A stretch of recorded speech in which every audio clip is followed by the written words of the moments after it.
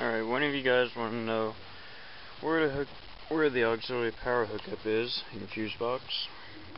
Back here, you can see it's a fuse relay center back by the brakes, the master cylinder.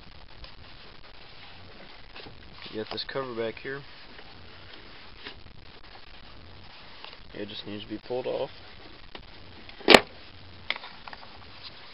And you've got two auxiliary power poles back here. Both rated at 30 amps.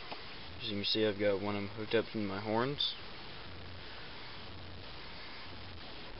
And this is not a ignition switched connection.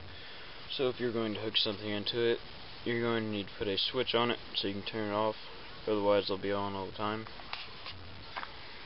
There's another spot under the dash where they you can hook in for power. Alright. Down under the dash here, you can see there's all these plugs and see. Up here. See this white wire.